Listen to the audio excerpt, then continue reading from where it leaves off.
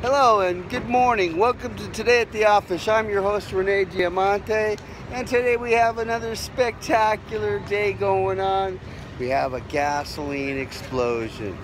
Gonna love it. Put it on, on time Yeah. lapse. Here we are, we're setting up for our five gallon explosion. That's known as a DSC, it's a direct short circuit. That'll ensure that we ignite the five gallons of gas that goes off. We have wrapped it in det cord. Uh, 48 grain det cord. Uh, I think I put about 13 feet in there, so, but don't do this at home. You're gonna love what's coming up. So today we're shooting our explosion against a green screen because they're to superimpose it with visual effects onto a building. Well, we are ready. All we got to do is load up the gasoline. And here he is, Ed Felix. He's on the scene. Told me it couldn't be done, but he knows we're going to make it happen. Oh yeah, we always make it happen. Well, I'm feeling really good about this. It should be spectacular. There's our water truck for the day.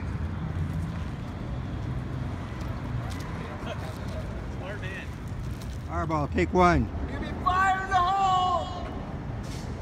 In three, two, one!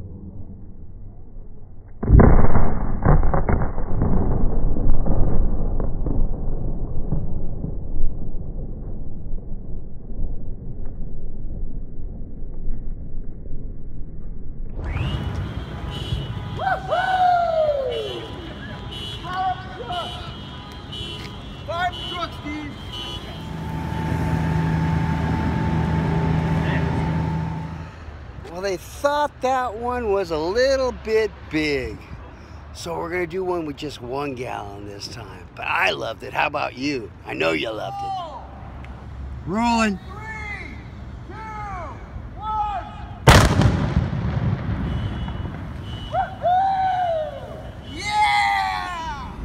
Well, thank you for joining me on Today at the Office. I hope you enjoyed the show.